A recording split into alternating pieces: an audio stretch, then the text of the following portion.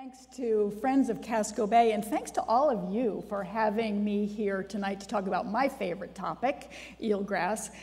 I am just going to skim the surface in the time available to me on the ecology, importance, and threats to eelgrass in Casco Bay in hopes that this brief introduction will encourage and inspire you to dive even deeper into eelgrass, at least figuratively and maybe even literally, who knows.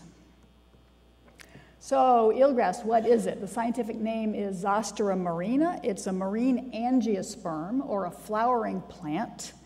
The flowers aren't very showy. It's these yellow structures here. It's one of about 50 species of seagrasses worldwide, and seagrasses are the only true flowering plants in the marine environment.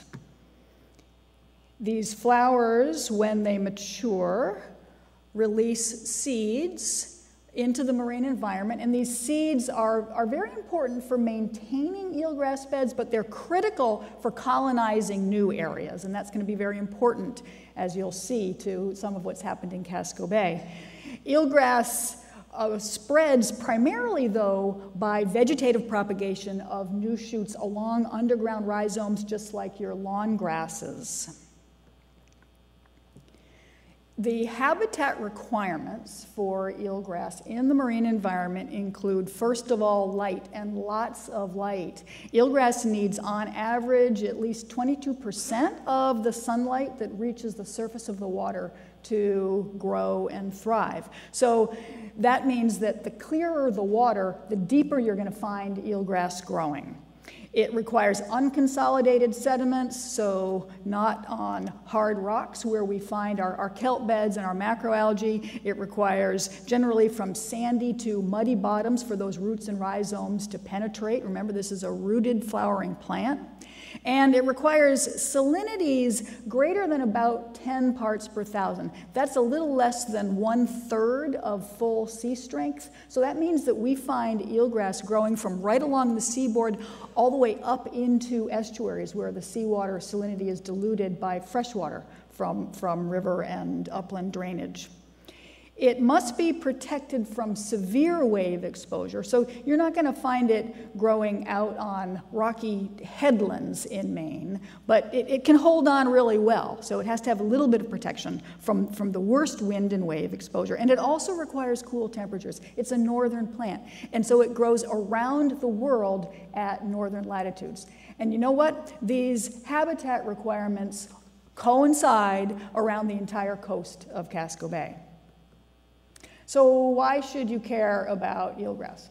Well, seagrass beds are among the most productive plant communities on the planet. Seagrasses rival even agricultural crops in the amount of biomass produced per unit area.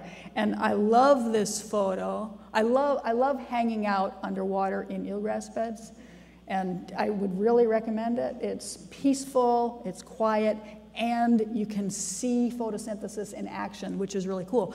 So you can see here bubbles of oxygen produced by eelgrass photosynthesis streaming up from these leaves. This high production within eelgrass bed then translates into many benefits that are of really high value to humans. Eelgrass is the foundation of both nearshore and offshore food webs. Invertebrates like these amphipods, these are all little amphipods, all these guys. Amphipods and shrimps and copepods and snails all reach extremely high densities in eelgrass, which in turn then creates critical habitat for many of our recreationally and commercially important fish species. So, small fish like these minnows and grubbies, and then juveniles and adults of larger fish like winter flounder, Atlantic cod, striped bass, all feed on the abundant invertebrates found in eelgrass beds. And eelgrass leaves are the primary settlement substrate for larval blue mussels. This is under a microscope, and this is an eelgrass leaf in the background. The eelgrass production isn't used just within the eelgrass bed, though. It certainly forms the base of many complex food webs right in that eelgrass habitat, but it's also exported to fuel offshore food webs. The dead plant material, the detrital particles, are carried offshore by wind and waves, and then transient consumers, all of these fish that feed in eelgrass beds, move offshore to enter offshore food webs. What people are probably most aware of are the really visible components of this ecosystem. It's critical habitat for many birds. Some waterfowl, like the Atlantic brant on the right, feed on eelgrass plant parts directly. Many more species of waterfowl, shorebirds, and wading birds, like the egret on the left, feed on the and depend on the abundant fish and invertebrate resources in these habitats. So uh, any birders in the room know that walking along the shore of an eelgrass bed at low tide is a fabulous place for birding. This habitat performs many physical and biogeochemical functions as well. Eelgrass plants absorb nutrients. The leaves extend up into the water column and they dampen wave energy and slow currents and cause sediment to settle out. And the roots and rhizomes in the sediment bind the bottom sediments. And so all of these ecological functions together, the, the base of the food web and these biogeochemical and, and physical functions, combine to provide benefits to us, to humans, or ecosystem services. Eelgrass improves water quality, it prevents bottom scouring, it buffers shorelines from erosion. And in this era of increasing carbon dioxide emissions that's contributing to global climate change, Eelgrass is a natural and highly efficient carbon sink. It turns out that not all of that carbon that is fixed during photosynthesis is consumed or exported. In fact, a large fraction of it is buried right there. And so this sequestered carbon is no longer available to contribute to climate change. Given all of these benefits or ecosystem services, that means that loss of eelgrass beds can lead to decreased fish and wildlife populations, degraded water quality, increased shoreline erosion, and reduced capacity to remove anthropogenic carbon dioxide emissions. So we like eelgrass, we want to keep eelgrass. What we stand to lose when we lose eelgrass then makes the change that we've seen in recent years in Casco Bay highly disturbing. So this map shows eelgrass distribution in 2001 in the red crosshatched shade, and then that's overlaid by eelgrass distribution in, two, in August of 2013 in the solid green color. And underneath everywhere that's solid green is red crosshatches. So what we see is a tremendous loss of eelgrass that covered all of Casco Bay in the 2001 mapping interval, and then in August of 2013, it had disappeared from most of the bay's upper reaches and was found only in the lower bay. In 2001, there was about 3,300 hectares of eelgrass. In 2013, there were about uh, 13 or 1,500 hectares. It's about a 55% loss of area. We know that this dramatic decline occurred primarily in 2012 and early 2013. And the view from the head of the bay, right here, right at the top of Maquoit Bay, used to be a beautiful, continuous, gorgeous eelgrass meadow. And then in the summer of 2013, where there should have been eelgrass, there wasn't. So, in identifying what the possible causes for this really dramatic and rapid loss of eelgrass, could be. We look at what the major threats to eelgrass are worldwide, which include reduced water quality, direct physical human disturbances, sediment organic enrichment, natural physical disturbances, climate change induced increases in summertime temperature, disease, toxic pollutants, and animal disturbance. That's the laundry list of the major threats to eelgrass worldwide. Well, as we've heard, we know that this loss of eelgrass in 2012 and 2013 coincided with a population explosion of green crabs in Casco Bay. And both last summer and this summer, I gathered crab damaged shoots from the Casco Bay shoreline. The, these eelgrass shoots that washed up show the characteristic shredding of the leaf bases and clipping of the shoots that signifies green crab damage. Green crabs aren't uh, preferentially, typically feeding on eelgrass, it just gets in the way as their foraging uh, activity is excavating in the bottom sediments to get to their preferred prey items. And so they're very good at mowing down eelgrass. I then performed a short exclosure experiment last summer up here in a formerly vegetated flat in which I planted eelgrass inside and outside of protective crab exclosures to test whether the environmental conditions in Casco Bay could, could support eelgrass growth in the absence of green crabs. And lo and behold, as long as the eelgrass was protected from crab damage, it could grow uh, and survive just fine. And so this combined evidence points to green crabs as one, certainly one of the primary causes of this dramatic, almost overnight loss of over half of the eelgrass in Casco Bay. And it elevates animal disturbance, specifically bioturbation by green crabs, to become one of the major threats to eelgrass in Casco Bay today. And as, as dramatic, drastic, and important as this acute loss of eelgrass due to green crab activity is, we can't forget about these other threats to eelgrass that are, are going to be critical to address if we're going to restore and uh, restore eelgrass and protect the, the remaining habitat that we have. The primary threat to eelgrass and the primary cause of loss worldwide. Remember, this species grows around the world. And the primary threat is reduced water quality through nitrogen and sediment inputs to the coastal zone.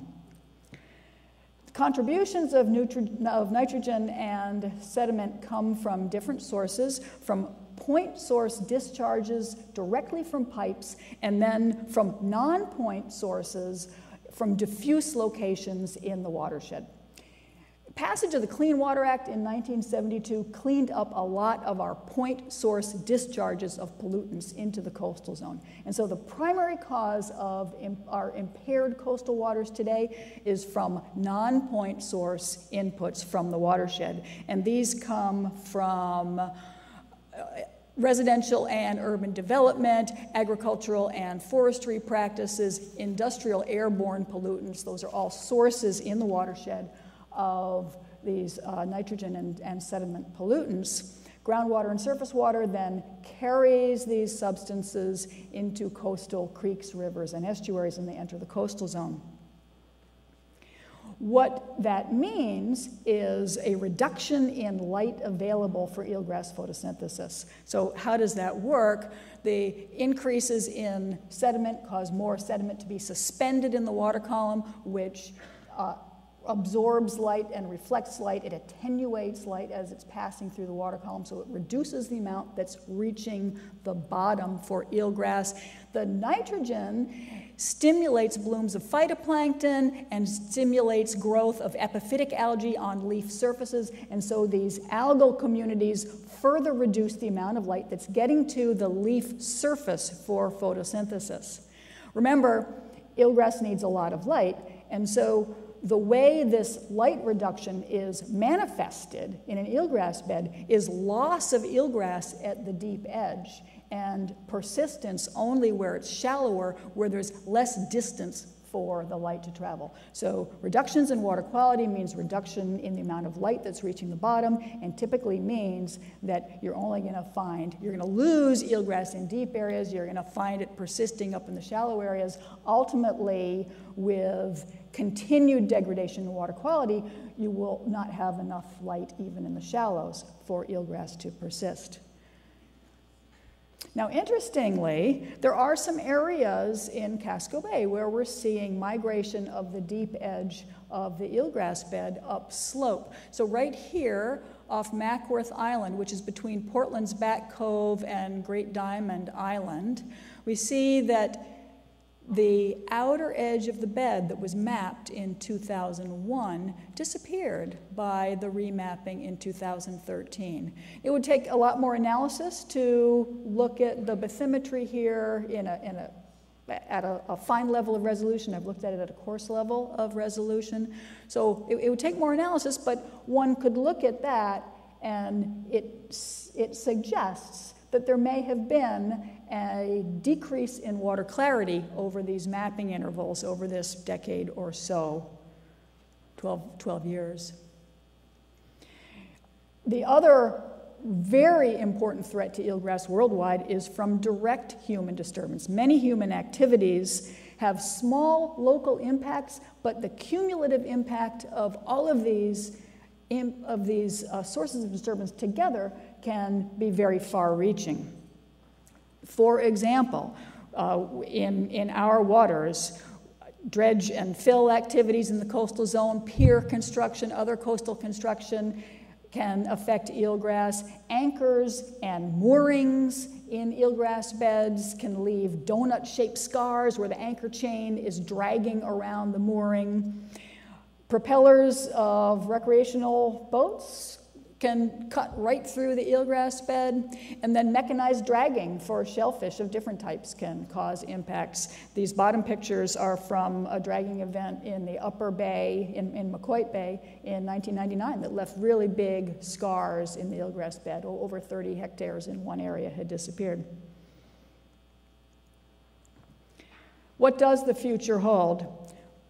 The, the coast of Maine, historically, has been defined by eelgrass. So this is the eelgrass map in yellow from the 1992 to 1998 mapping interval done by Seth Barker at the Department of Marine Resources. And you see that the eelgrass pretty much outlines the coast of Maine. Here we are in Casco Bay. As we've seen the, the tremendous impact that our new, or, or new this era anyway, invader green crabs have had on eelgrass, we know that the future of eelgrass in Casco Bay is inextricably linked to the future of the green crab population. Now, that's a very complex issue, and it's going to be addressed both by more scientific information and by collaborations among the interests represented on this panel and among all of you in this room. It's going to take a collaborative effort to address this type of loss. But that doesn't mean that there's nothing that all of us can do to protect eelgrass. There are things that we all can do to protect this habitat. So we can personally be responsible for the potential threats from water quality degradation and, and, from direct human physical impacts. We can reduce nutrient runoff by minimizing our use of lawn fertilizers, maintaining septic systems in efficient and working order. We can reduce sediment runoff by avoiding clearing our coastal property, planting native vegetation to stabilize shorelines. Uh, it is legally mandated to avoid impacts from marine and coastal construction on eelgrass beds. And we should avoid anchoring in eelgrass when we're out boating in Casco Bay. Pick a sand patch to throw down your anchor rather than an eelgrass patch because when you pull up that anchor in an eelgrass bed, you're going to leave behind a, a hole like that in the eelgrass.